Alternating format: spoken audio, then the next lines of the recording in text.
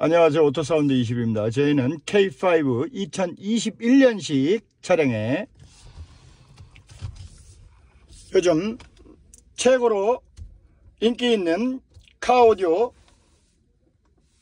차량에 장착한 DSP 디지털 사운드 프로세서가 내장된 MATCH UP 8 DSP 제품을 장착한 후 동영상을 촬영하고 있습니다. 이 차량에는 head cap도 같이 장착하셨습니다. 8채널 UP 8 DSP 디지털 사운드 프로세서가 내장된 제품이라 튜닝 프로그램으로 완벽하게 튜닝을 하기 때문에 아주 퀄리티 있는 사운드로 음악을 들으실 수 있습니다. 순정 사운드는 비교도 안 되고 스피커만 교체한 사운드 비교가 되지 않습니다. 요즘은 매치 어팔 DSP 대세입니다. K5 2021년식 차량이었습니다. 감사합니다.